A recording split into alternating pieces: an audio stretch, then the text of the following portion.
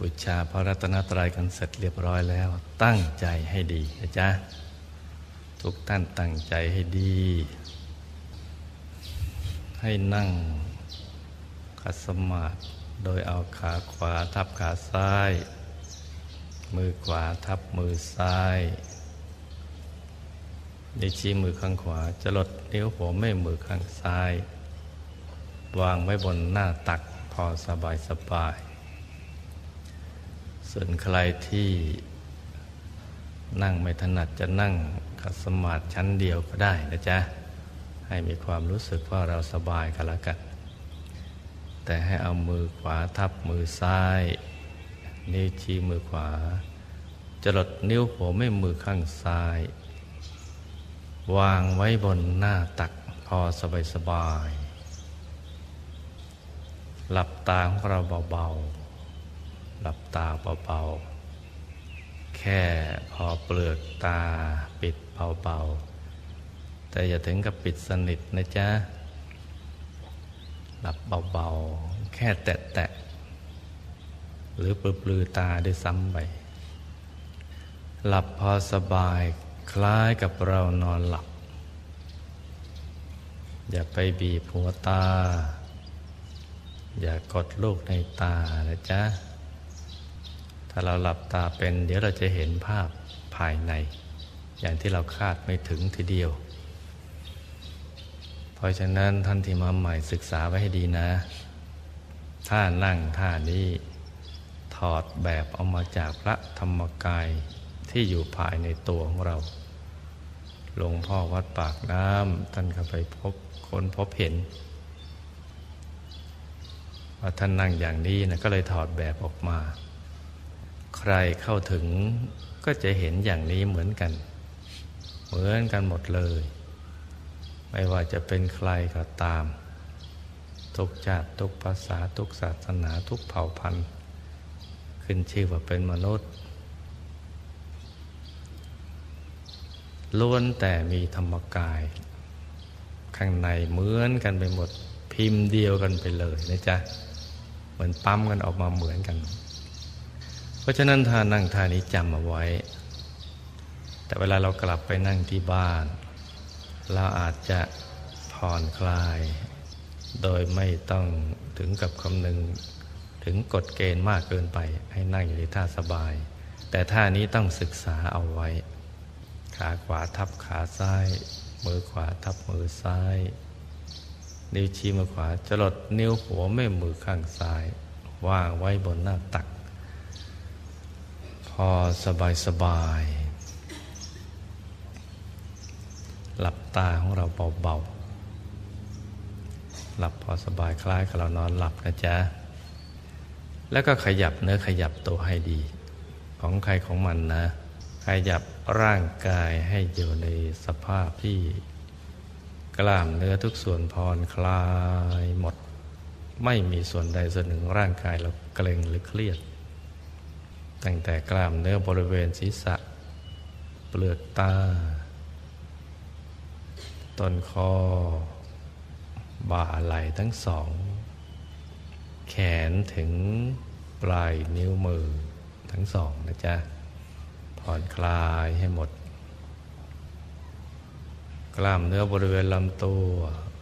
ขาทั้งสอง ถึงปลายนิ้วเท้า ผ่อนคลายให้หมดเลย ผ่อนคลาย เพราะฉะนั้นขยับเนื้อขยับตัวกันให้ดีนะ ให้ดีของใครของมันนะจ๊ะ ขยับให้ดี ตรงนี้อย่าดูเบานะ ถ้าเราเกรงหรือตั้งใจมากเกินไป ตั้งใจจะเอาท่าสวยเกรงกัน เดี๋ยวมันก็ ทำให้เราเกิดความตึงเครียด นั่งแล้วไม่ได้ผลหรอก ต้องผ่อนคลาย เพราะร่างกายของเรานี่เป็นร่างกายที่ไม่ได้มาตรฐานแล้วจะเอาอย่างกายของพระธรรมกายในตัวนั้นไม่ได้หรอก เพราะกายท่านตรงสวยงามในลักษณะมหาบุรุษ ครบถ้วนบริบูรณ์นั่งแล้วไม่ปวดไม่เมื่อย แต่กายมนุษย์นั้นมันเพี้ยนมาแล้ว มันไม่เหมือนเดิมแล้ว กระแสกรรมมันบีบคั้น เหมือนรถติดตัวถังบุกบูบีอย่างนั้นถึงเครื่องเขาจะดีแค่ไหนก็ตามถ้าตัวถังบุกก็ทำอะไรก็ไม่ค่อยสะดวกสรีระยนต์นี่เหมือนกันนะจ๊ะ ตัวถังเรากายเนื้อของเราเนี่ย มันบุบบูบีไปหมดแล้ว พิการกันหมดทุกคนในโลก ที่เขาว่าประกวดนางงามายงามอะไรอย่างนั้นนะไม่จริงหรอกพิการทั้งนั้นแหละ เราจะรู้ได้ยังไงว่าพิการ รู้ต่อเมื่อเข้าถึงกายที่ไม่พิการ กายมาตรฐาน ที่อยู่ภายในตัวของเราพอเราเห็นกายมาตรฐานว่าขนาดนี้พอดี พอมาเปรียบเทียบกันก็จะเห็นว่า สิ่งที่เราเห็นอยู่นี้ไม่พอดี มีขาดกับเกิน ขาดไปมั่งเกินไปมั่ง แต่ของมาตรฐานอยู่ในตัวนะจ๊ะ เมื่อเราหลับตาแล้ว กล้ามเนื้อผ่อนคลายหมดแล้วก็ปรับที่ใจ ใจของเรานี่ต้องปล่อยวางภารกิจ เครื่องกังวลทั้งหมด ถ้าเป็นนักเรียนก็เกี่ยวกับเรื่องการศึกษาเราเรียน ต้องผ่อนคลายปล่อยวางชั่วคราวนะลูกนะ เรื่องการเรียนชั่วคราว ถ้าหากว่าเป็นผู้คลองเรือน ก็วางภารกิจเกี่ยวกับเรื่องการคลองเรือน ชั่วคราว ที่ประกอบธุรกิจการงานทำมาหากิน จะเป็นอาชีพอันใดก็ตามก็วางกันไปชั่วขณะ ทิ้งทุกสิ่งให้หมดเลยทำเสมือนว่า เราอยู่คนเดียวในโลก ไม่เคยเจอเจอภารกิจอื่นมาก่อนเลย ปล่อยวางทิ้งหมดเลย ต้องทิ้งอย่างนั้นนะจ๊ะ ต้องทำอย่างนั้นแหละ แล้วก็จะเพิ่งมาคิดว่า ตอนนี้เรากำลังจะตั้งใจนั่งทำสมาธิ จะต้องเอาสมาธิให้มันเกิดขึ้น จะพิ่งไปคิดอย่างนั้น ให้คิดอย่างนี้ คิดว่าเราจะมานั่งพักผ่อน พักผ่อนแบบอริยะ แบบละอริยะเจ้า ผู้ปลดปลงภารกิจทั้งหลายทั้งมวลออกจากใจหมดแล้ว จะมาอยู่ในโลกส่วนตัวของเรา ในกายกายยาววานาคืบกว้างศอก เป็นโลกส่วนตัวของเรา ใจของเราได้ใช้กันมาตลอดเวลาเลย ถ้าช่วงสั้น ๆก็หนึ่งเดือนที่ผ่านมาตั้งแต่อาทิตย์ต้นเดือนที่แล้ว มาถึงอาทิตย์ต้นเดือนนี้เนี่ยเราใช้ใจไปคิดเรื่องเรียนเรื่องครอบครัว เรื่องงานเรื่องการ เรื่องที่นอกเหนือจากนี้เนี่ยไปคิดจนกระทั่ง ไม่มีความสุขเลย มีแต่ความวิตกกังวลเซ็งเครียดเบื่อกลุ่ม สั่งสมอยู่ในจิตในใจเรา ถึงเวลาวันนี้ เราจะปลดปลงภาระ เครื่องกังวลใจเหล่านั้นให้หมดสิ้นจากใจไปเลย จะมานั่ง ผ่อน ปล่อยวางภารกิจทั้งหลาย จะอยู่ณจุดที่ปลอดความคิด ที่ไม่มีความคิดอันใดเข้ามาลกลุมใจ จะวางใจนิ่งนิ่งว่างว่างเหมือนมองทุกสิ่งทุกอย่างในโลกเนี่ยให้มันว่างเปล่า จะเป็นคนเป็นสัตว์เป็นสิ่งของเป็นอะไรกันแล้วแต่ มันก็แค่ธาตุมาปรุงมาประกอบรวมกันธาตุดินน้ำลมไฟวิญญาณอากาศธาตุมารวมกัน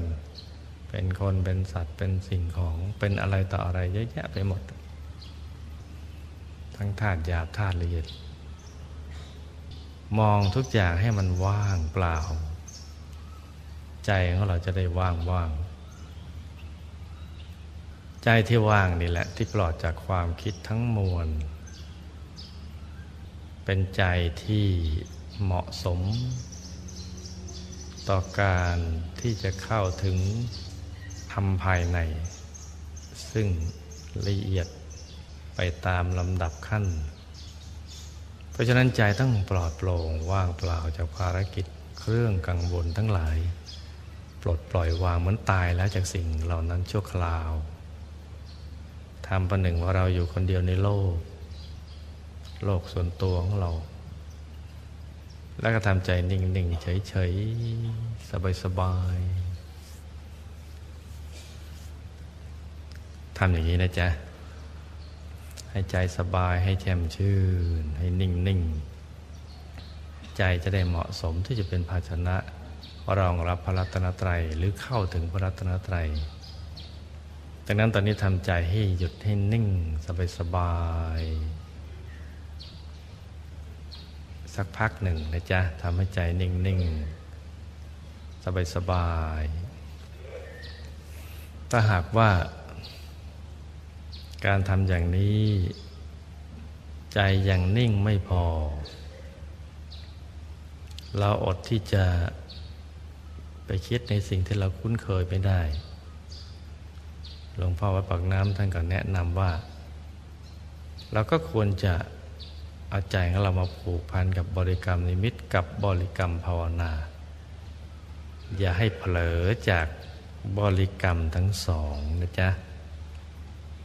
บริกรรมนิมิตก็คือการสร้างมโนภาพ นึกทางใจ นึกถึงพระพุทธพระธรรมพระสงฆ์ นึกไว้ในใจแทนการคิดเรื่องอื่น แทนการคิดเรื่องการเรียน ครอบครัว ธุรกิจการงาน หรือเรื่องอะไรที่นอกเหนือจากนี้เนี่ยท่านให้เอาใจมาผูกไว้กับพระรัตนตรัยนึกถึงพระพุทธพระธรรมพระสงฆ์นึกถึงพระพุทธเจ้า นึกถึงพระธรรมคำสอน นึกถึงพระสงฆ์สาวก ผู้ปฏิบัติตามเป็นพยานในการตัดสู้ธรรม พระพุทธเจ้าท่านดับขันธปรินิพานไปแล้ว ขณะนี้ก็เหลือแต่พุทธปฏิมากรเป็นตัวแทน พูดง่ายๆภาษาชาวบ้านก็คือมีพระพุทธรูปนั่นแหละ เป็นสิ่งแทนตัวของพระบรมศาสดา ถ้าเราชอบเจริญพุทธานุสติ รักพระพุทธเจ้า นึกคิดถึงท่านและสบายใจ ก็ให้นึกถึงพระพุทธรูปนั่งขัดสมาธิทำสมาธิ ประทับอยู่ในกลางกายของเรานะนั่งขัดสมาธิทำสมาธิอยู่ในกลางกาย ขนาดใหญ่เล็กกันแล้วแต่ใจเราชอบ ให้อยู่ในกลางกายของเรา ถ้าชอบพระธรรมคำสอนของท่าน เราจะเนึกถึงสิ่งที่แทน ธรรมรัตนะ เป็นดวงแก้วใส ๆ ก็ได้นะจ๊ะเลิกเป็นดวงแก้วใสบริสุทธิ์อยู่ในกลางกายของเรา แทน พระพุทธรูปแก้วขาวใสบริสุทธิ์ แต่ถ้าสองอย่างนั้นเรานึกไม่ถึง ไม่เคยเห็น หรือไม่ค่อยได้กราบไหว้บูชา นึกเท่าไหร่ก็นึกไม่ออก จะนึกถึงหลวงพ่อวัดปากน้ำประสีเจริญแทนสังฆรัตนะก็ได้ นึกถึงหลวงพ่อวัดปากน้ำให้ท่านมานั่งประทับอยู่ในกลางกายของเรา สิ่งที่ติดกลางกายนั่งขัดสมาธิทำสมาธิเหมือนกันสามอย่างนี้ อย่างใดอย่างหนึ่งก็ได้นะจ๊ะ หรือกำหนดอย่างหนึ่ง แต่ไปเห็นอีกอย่างหนึ่งก็ไม่เป็นไร เช่นนึกถึงพระแก้วขาวใสบริสุทธิ์ เกิดไปเห็นเป็นดวงใสๆหรือเห็นเป็นหลวงพ่อวัดปักน้ำก็ใช้ได้ทั้งนั้นนะจ๊ะ หรือกำหนดดวงแก้วใส ๆ เกิดไปเห็นเป็นพระแก้ว หรือหลวงพ่อวัดปักน้ำก็ใช้ได้อีกเหมือนกัน หรือกำหนดเป็นหลวงพ่อวัดปากน้ำภาษีเจริญ แต่เกิดไปเห็นเป็นพระแก้วขาวใส หรือดวงแก้วขาวใส ก็ใช้ได้เหมือนกัน อย่างใดอย่างหนึ่งในสามอย่างนี้นะใช้ได้หมดนะจ๊ะ นึกอย่างหนึ่งเห็นอีกอย่างหนึ่ง ดีทั้งนั้นเลย หน้าที่ของเราคือ ดูเรื่อยไปนะดูไปอย่างสบายสบายสบายสบายนะจ๊ะอย่าไปเคร่งเครียด ดูเหมือนดูทิวทัศน์นะเหมือนดูน้ำตกดูทะเลภูเขา ดูดวงอาทิตย์ขึ้นตก ดูพระจันทร์ในคืนวันเพ็ญหรือดูดวงดาวบนท้องฟ้านะ ให้ดูมันดูทิวทัศน์อย่างนั้น ดูเพลินๆสบายๆจะดูพระแก้วขาวใสดวงแก้วใส หรือหลวงพ่อวัดปักน้ำก็ดี ให้ใสๆใช้ได้ทั้งนั้นนะจ๊ะ ดูไปอย่างสบายๆในกลางกายของเรา กลางกายนั่นนะถ้าตามหลักวิชาแล้วหมายเอาฐานที่เจ็ด โดยกำหนดสมมุติเอาเส้นได้สองเส้นมาขึงให้ตึง เส้นหนึ่งขึงจากสะดือทะลุไปข้างหลัง อีกเส้นหนึ่งขึงจากด้านขวาทะลุไปด้านซ้าย จุดตัดของเส้นได้ทั้งสองเรียกว่าศูนย์กลางกายฐานที่หกยกถอยหลังขึ้นมาสองนิ้วมือ สมมติเอานิ้วชี้นิ้วกลางวางซ้อนกันไปทาบตรงนั้น สูงขึ้นมาสองนิ้วมือตรงนี้แหละ เรียกว่าศูนย์กลางกายฐานที่เจ็ดเพราะฉะนั้นคำว่ากลางกายของหลวงพ่อเนี่ยคำเต็มคือ ศูนย์กลางกายฐานที่เจ็ดนะจ๊ะจำง่ายๆเอาก็แล้วกัน ไม่ต้องไปคำนึงถึงกฎเกณฑ์ แต่ก็ต้องทำความรู้จักเอาไว้จะไม่ง่ายว่าอยู่ในกลางท้องของเรา คือเราหลับตาแล้วเราก็นึกถึงหนึ่งในสามอย่างนั้น เป็นพระแก้วใสบริสุทธิ์ หรือดวงแก้วใสบริสุทธิ์ หรือหลวงพ่อวัดปากน้ำใสบริสุทธิ์ นั่งขัดสมาธิทำสมาธินิ่ง อยู่ในกลางกายฐานที่เจ็ดนะ ตรงนั้นแหละ นึกไปอย่างสบายๆ ถ้านึกแค่นี้แล้วใจยังอดฟุ้งไม่ได้ ก็ภาวนา สัมมาอรหัง สัมมาอรหัง สัมมาอรหัง เรื่อยไปเลยนะจ๊ะ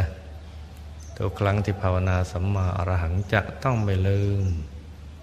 นึกถึงบริกรรมนิมิตอย่างใดอย่างหนึ่ง ทุกครั้งที่นึกถึงบริกรรมนิมิตจะต้องไม่ลืมภาวนาว่าสัมมาอรหัง ต้องไม่เผลอจากบริกรรมทั้งสองคำว่าไม่เผลอก็คือในใจเราต้องมีอยู่แค่นี้เนี่ยมีพระพุทธพระธรรมพระสงฆ์มีคำภาวนาสัมมาอรหังควบคู่กันไป อย่าเผลอนะจ๊ะ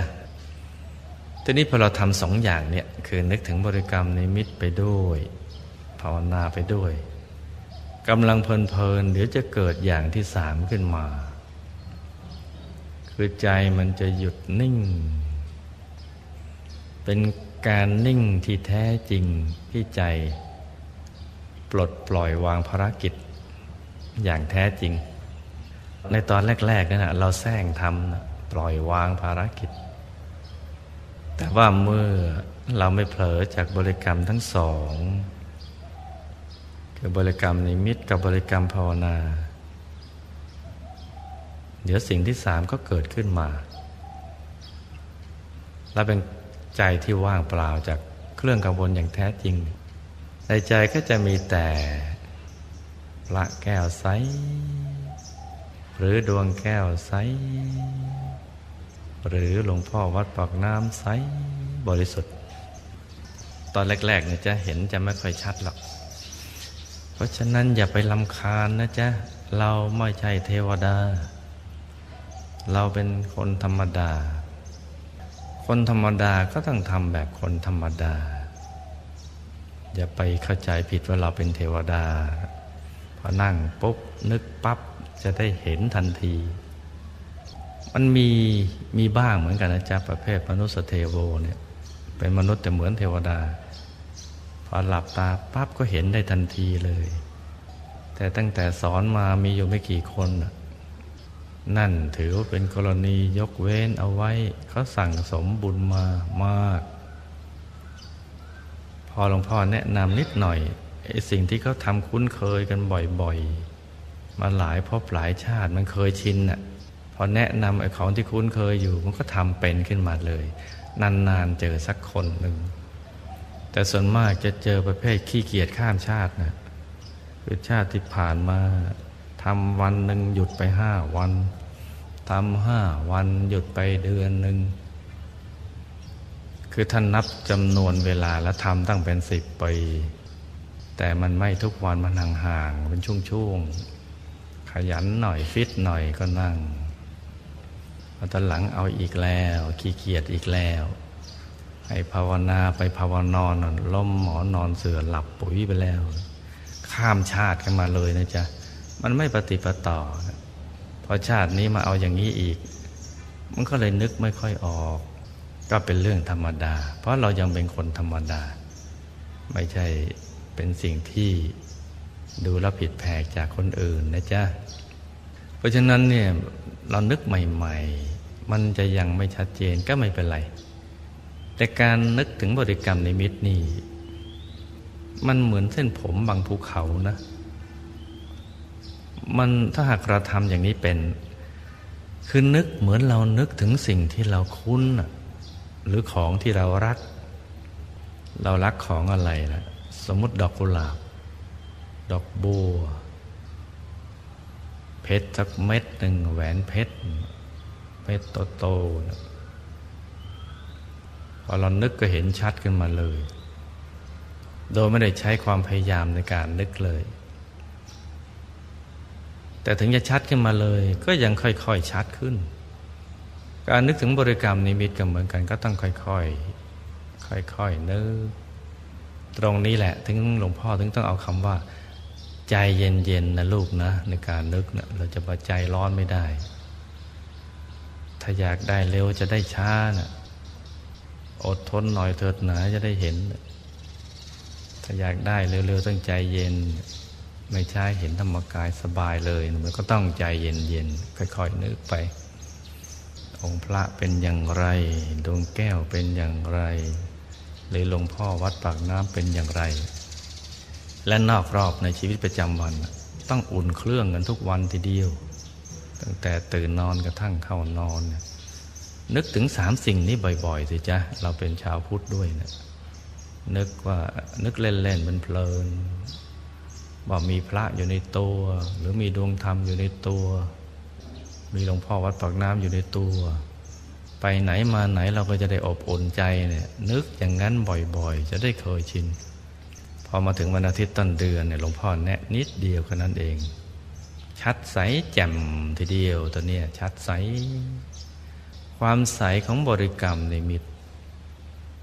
เมื่อเปลี่ยนเป็นอุกหานิมิตคือชัดเหมือนลืมตาเห็นเลย เหมือนลืมตาเห็น ถ้าละเอียดยิ่งกว่านี้นึกให้ใหญ่ก็ได้ นึกให้เล็กก็ได้ ขยายใหญ่แค่ไหนก็ใหญ่ได้ ใหญ่เท่าตัวก็ได้ ใหญ่เท่ากับสภานี้ก็ได้ ใหญ่เท่ากับจังหวัดก็ได้ ใหญ่เท่ากับประเทศไทยก็ได้ ใหญ่เท่าทั่วโลกก็ได้ ใหญ่คลุมไปหมดไม่มีขอบเขตเลย นั่นเป็นปฏิภาคในมิตรแล้ว มีความละเอียด ที่พูดนี่ก็ทำกันเป็นกันเยอะแล้วนะ และความใสความบริสุทธิ์และสิ่งที่ขยายออกมาพร้อมกับความสุขภายใน เป็นความสุขที่ใจเป็นอิสระ เป็นตัวของตัวเองไม่ถูกกิเลสครอบงำชั่วคราวทีเดียว ใจจะขยายมีความปีติเบิกบาน โล่งโปร่งเบาสบาย เป็นอิสระ ใจนี่นุ่มนุ่ม ชุ่มเย็นทีเดียวนะจ๊ะ ใจจะนุ่มชุ่มเย็นสบายสบายอย่างไม่เคยเป็นมาก่อน นั่นแหละต้นทางที่จะเข้าถึง สิ่งที่มีอยู่แล้วภายในตัวของเรา สิ่งที่มีอยู่แล้วคืออะไร ดวงธรรมภายใน ดวงธรรมภายใน ที่คล้ายกับบริกรรมนิมิต แต่ว่าแตกต่างกันฟ้ากับดิน สมมติเรากำหนด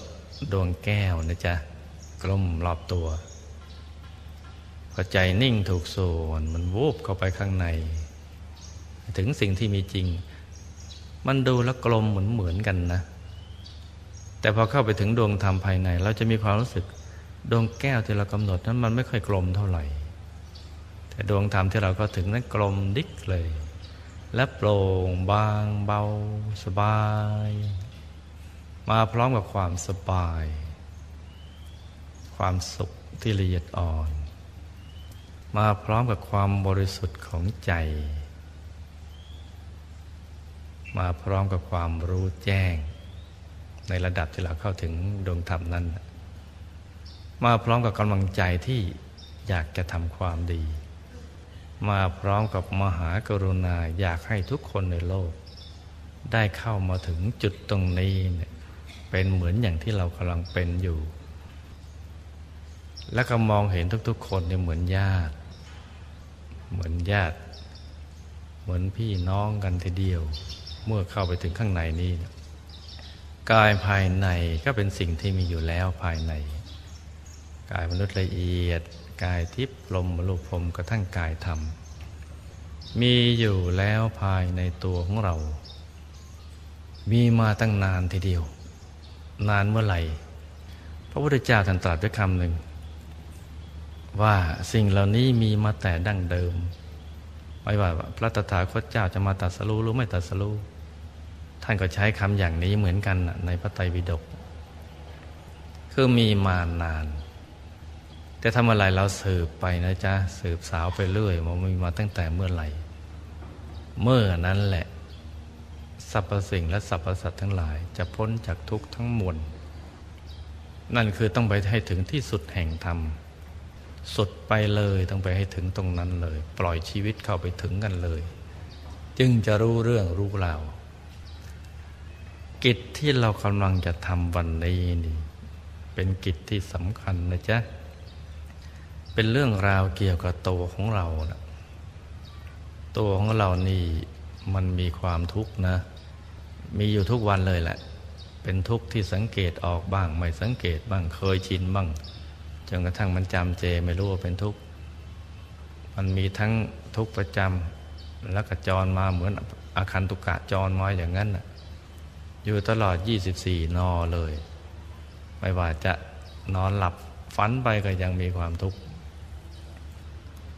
มันมีความสำคัญตรงนี้คือชีวิตเราเนี่ยมันเป็นทุกข์ เพราะฉะนั้นเราก็จะต้องสาวไปดูว่าอะไรเนี่ยเป็นเหตุแห่งทุกข์ ซึ่งพระพุทธเจ้าท่านก็สรุปได้ ซึ่งเราถ้าไปพิจารณาจริง ๆ ก็จะพบว่าความอยากนี่แหละ เป็นทุกข์ ความทุกข์ทั้งหลายเนี่ยสาวไปไปสุดที่ความอยาก อยากได้อยากมีอยากเป็นแค่อยากรวยอย่างเดียวนี่ก็ ทุกข์ตั้งแต่เริ่มคิดแล้วนะพออยู่ๆไม่ใช่พอคิดปั๊บแล้วมันจะรวยเลย ไอ้อย่างนั้นนะมันมีบางคนที่ก็สร้างบารมีมานาน อย่างท่านโชติกะเศรษฐีจิเดนเศรษฐี ท่านเมนตกะเศรษฐี นั่นทำไมต้องคิดพระสั่งสมมหาทานบารมีมามาก เปิดหน้าต่างก็เห็นภูเขาทองโผล่มา อย่างนี้ในประวัติศาสตร์เนี่ยมันมีอยู่ไม่กี่คน แต่มันก็มีอยู่ นั่นเขาทำของเขามามาก แต่ส่วนใหญ่แล้วเนี่ย ส่วนใหญ่90กว่าเปอร์เซ็นต์เนี่ยมันไม่ค่อยมี เพราะนั้นแค่คิดว่าอยากจะรวยอย่างเดียวเนี่ยเราก็จะตั้งคิดว่าจะรวยอย่างไร แค่คิดนี่ก็ปัญหามันก็ตามมาแล้วนะจ๊ะเพราะนั้นความอยากเนี่ยอยากได้อยากมีอยากเป็นอยากอะไรต่างๆ ที่ประกอบไปด้วยความเพลินนันทิราคสหคตาความอยากที่ประกอบไปด้วยความเพลิน เพลินเป็นเหตุให้เกิดพบใหม่ ความอยากอย่างนี้เนี่ยเป็นต้นเหตุแห่งทุกข์ แต่อยากพ้นทุกข์ อยากไปนิพพานนั่นไม่ใช่ อันนี้นะจำคนละเรื่องกันนี่ก็สาไปอีกอะไรเราเป็นแรงกระตุ้นให้เกิดความอยาก เราก็จะพบว่ามันมีกระแสชนิดหนึ่งที่ซ่อนเล่นอยู่ภายใน มองไม่เห็น หลวงพ่อวัดปากน้ำได้ใช้คำว่าฉากหลัง มีฉากหลังซ้อนๆ สอนให้คิดให้พูดให้ทำพอทำไปแล้วก็มีวิบาก มีผลของการกระทำนั้น มันกระตุ้นอยู่ข้างในลึกๆ มองด้วยตาเนื้อไม่เห็น หยิบเอามาให้ดูก็ไม่ได้ มันต้องไปเห็นข้างใน คือใจมันต้องหยุดนิ่งถูกส่วนอยู่กระทั่งญาณทัศนะเกิด เกิดในระดับที่ว่าต้องเข้าถึงพระธรรมกายแล้วเนี่ยจึงจะเห็น การมนุษย์ละเอียดก็ไม่เห็น กายที่พรมรูปพรมไม่เห็นเลย แต่พอถึงกายธรรมแล้วเนี่ยถึงกายธรรม พระธรรมกายในตัว กายทั้งก้อนต้องเป็นธรรมล้วนๆบริสุทธิ์ล้วนๆเลยถึงเรียกว่ากายธรรมบริสุทธิ์ล้วน ถ้าเป็นน้ำก็กลั่นแล้ว ไม่ใช่แค่กรองมา หรือแค่เอาสารส้มแกว่ง แต่ก่อนยังตกที่ก้นอยู่ไม่ใช่อย่างนั้น ต้องกลั่นแล้วกลั่นอีก เพราะฉะนั้นเมื่อเข้าถึงธรรมกายเราถึงจะเห็นว่า มันมีสิ่งที่ลึกๆละเอียด ซ่อนเล่นอยู่ แต่ไม่อาจจะปิดบัง ธรรมจักขุของพระธรรมกายได้ พระธรรมกายท่านก็จะไปเห็น เห็นด้วยธรรมจักขุแล้วก็รู้ได้โดยญาณทัศนะ เห็นว่ามันอะไรนะมันมันกระตุ้นเราอยู่ตลอดเวลาให้อยากได้ อยากมีอยากเป็น เป็นนั่นเป็นนี่ตลอดเวลาเลย บางทีอยากจะทำความดี แต่ไม่มีกำลังใจจะทำบางอย่างรู้ว่าไอ้นี่ไม่ดีก็ยังอดทำไม่ได้ บางที่ไม่ควรไปก็ไป บางที่ควรไปก็กลับไม่ไปเนะี่ยมันมีสิ่งที่ซ่อนเลนข้างหลัง ซึ่งเมื่อเข้าถึงธรรมกายแล้ว เป็นอันหนึ่งอันเดียวกับท่านแล้ว ก็จะเห็นชัดทีเดียวพออ๋อมันอยู่ตรงนี้เอง ที่ซ่อนเล้นอยู่ ตอนแรกก็เห็นว่าอ๋อนี่มันเป็นการหาธรรมทำอันทำดำหรืออกุศลธรรม ครอบงำอยู่คำว่าครอบ เขาพูดอุปมาหรือว่ามันครอบจริง ๆพอไปเห็นแล้วมันไม่ใช่อุปมาเลย มันไม่ใช่อุปมาหรือมันเป็นอย่างนั้นจริง ๆ พอจากนั้นไปเดี๋ยวก็สาวไปเห็นตัวเลย มีตัวมีตนมีพบที่อยู่ เพียบพร้อมเต็มไปหมดเลยว่าอ๋อนี่นี่เองที่อยู่เบื้องหลังเป็นฉากหลัง ที่คอยกระตุ้นให้เราอยาก แล้วก็กระทำความผิด คิดผิดพูดผิดทำผิด แล้วก็มีวิบาก มีผล มีบาปศักดิ์สิทธิ์ผลให้วนเวียนกันอยู่ในภพนี่วนเวียนอยู่เปรตสุรกายสัตว์ริฉานสัตว์นรกวนกันอยู่อย่างนั้นแหละก็จะเห็นชัดเจน เพราะฉะนั้นสิกิจที่เรากำลังทำนี้ เขาเรียกว่ากรณียกิจกิจที่ควรทำ พอทำแล้วนี่จะไปรู้ไปเห็นเรื่องราวของตัวเราเราจะทำให้เราหายสงสัยในหลาย ๆ เรื่อง พอเข้าไปถึงตอนนั้นวิชามันจะเกิด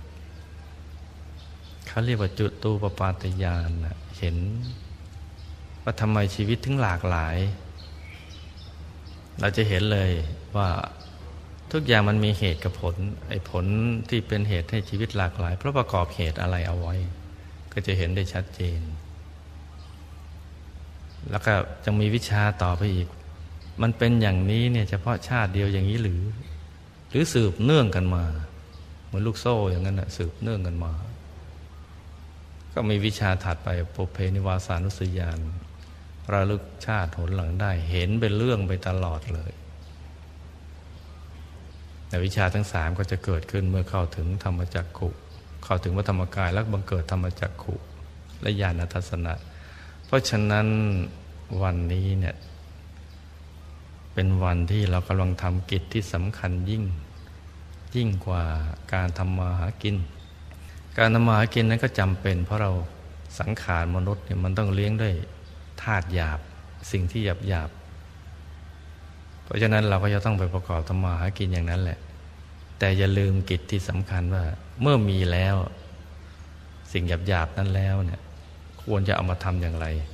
และเพื่อประโยชน์อะไร ดังนั้นหลักที่สำคัญของชีวิตจริง ๆ คือมุ่งเข้าไปสู่ภายในหยาบแล้วก็ทำทำเพื่อจะได้มีโอกาส มุ่งเข้าไปสู่ชีวิตภายใน ไปแสวงหาความรู้ภายใน ที่ไม่มีที่สิ้นสุดเลย ที่เรายังไม่รู้อะไรเลย แม้แต่นิดเดียว เมื่อเข้าใจอย่างนี้ดีแล้วนะจ๊ะต่อจากนี้ไป ให้ตั้งใจนะ เอาใจหยุดนิ่งๆ เอาใจให้หยุดนิ่งที่ศูนย์กลางกายกำหนดบริกรรมนิมิตขึ้นมา จะเป็นพระแก้วขาวใสบริสุทธิ์ก็ได้ จะเป็นดวงแก้วขาวใสบริสุทธิ์ก็ได้ หรือจะเป็นหลวงพ่อวัดปากน้ำภาษีเจริญ ขาวใสบริสุทธิ์ก็ได้ หรือท่านนึกอะไรไม่ออกยังทำอะไรไม่ได้ ก็ให้ทำหยุดทำนิ่งเฉยๆนะจ๊ะทำนิ่งเฉยๆสบายๆต่างคนต่างทำนะทำกันไปเงียบๆหลวงพ่อจะเตือนเป็นช่วงๆนะจ๊ะตอนนี้ลองทำดูปรับ กายผ่อนคลายกายให้มันสบาย ใจกันนิ่งอย่างเดียว หยุดนิ่งเฉยให้ใจนุ่มชุ่มเย็นอยู่ภายในนะจ๊ะ ใจนุ่มนุ่มนิ่งนิ่งเฉยเมื่อมีความรู้สึกว่าร่างกายเราพองโตขึ้นขยายขึ้นปล่อยมันไปนะ อย่าลืมตา มันขยายจนกระทั่งเราลืมกายหยาบไปเลยเนี่ยเหมือนไม่มีตัวตน อย่าตกใจนะบางคนใจหายแวบเลย เคยมีความรู้สึกที่ร่างกายอยู่ๆมันหายไปเฉยๆอย่ากลัวนะจ๊ะไม่เป็นอันตรายอะไร นั่นเป็นลักษณะที่ใจเรากำลังเคลื่อนจากหยาบไปสู่จุดที่ละเอียดแล้ว จงทำหยุดทำนิ่งต่อไปอย่างสบายสบายทำไปเงียบๆนะ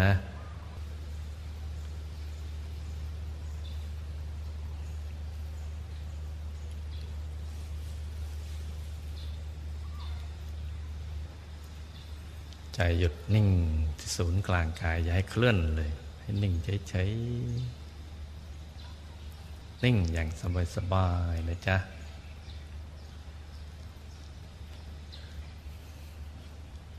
ใครที่เข้าถึง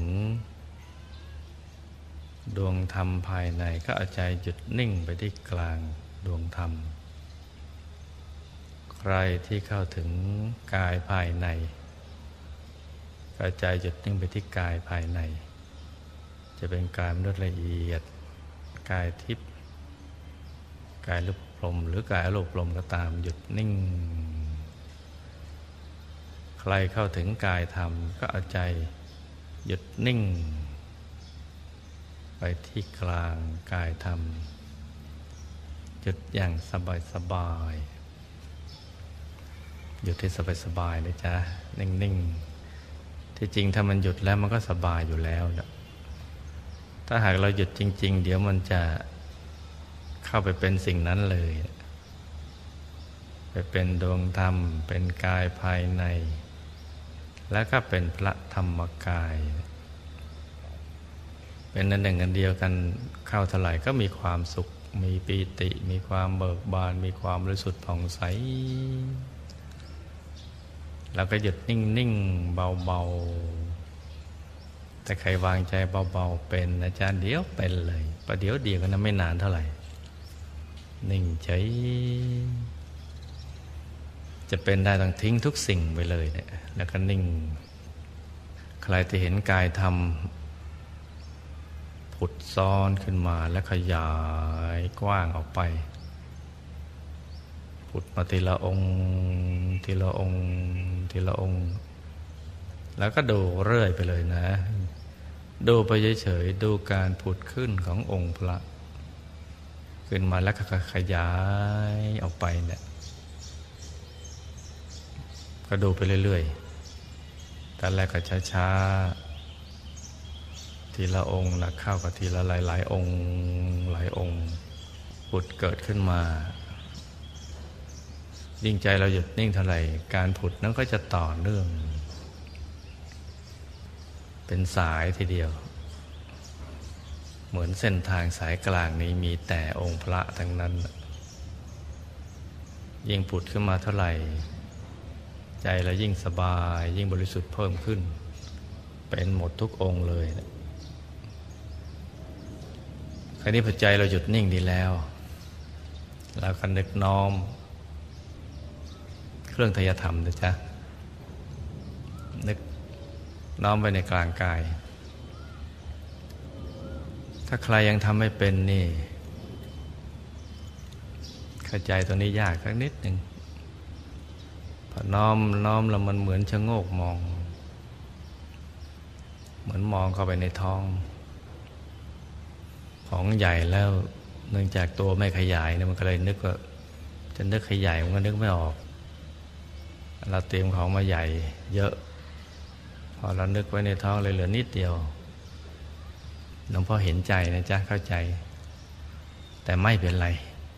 เพราะการนำถวายที่คุณยายท่านคุ้มก็ไปถวายเอง แล้วก็นิ่งเอาไว้ ส่วนใครที่ทำเป็นแล้วเนี่ยในระดับหนึ่ง คือเห็นองค์พระพุทธเกิดขึ้นมา แต่ยังทำวิชาธรรมกายไม่เป็น จะเริ่มเข้าใจเพิ่มขึ้น ว่าความจริงแล้วเนี่ยมันไม่ใช่เป็นอย่างนั้น มันไม่ได้ชะโงกมองหรอก มันเป็นไปเลยนะมันเห็นเป็น เห็นรอบตัวเลย ใสบริสุทธิ์ ขยายใหญ่ไปเรื่อย ส่งมันต่อกันไปเรื่อยเลยต่อต่อกันไปเนี่ย องค์นี้ผุดมาส่งต่อไปอีกองค์ส่งกันต่อต่อต่อกันไปเรื่อยๆคนใหญ่ก็คุมพวกเราหมดทุกคนคุมเครื่องทยธรรม อาหารหวานข้าวดอกไม้ทูบเทียนไปถวาย เป็นพุทธบูชาแด่พระธรรมกายของพระพุทธเจ้า ทับทวีไปเรื่อยเลย ขึ้นไป ถวายไปทุกพระองค์เลยสั่งพุทธจักรน้อมไปจักรพรรดิทับทวีถวาย ไปเรื่อย ๆ จนถึงพระบรมพุทธเจ้า ส่งกันต่อต่อกันไปคุณยายกับทับทวยกันขึ้นไป ให้สุดรู้สุดญาณไปเลยนะทับทวยไปคำว่าทับทวยนี่นะ มันตั้งใจหยุดนิ่งสนิทแล้วถึงจะรู้จัก เราจะเห็นขบวนการภายในเกิดขึ้น มากมายกายกองทีเดียว อย่างเป็นระบบระเบียบ มีอนุภาพ เห็นแล้วหน้าปลื้มบิติในผลบุญ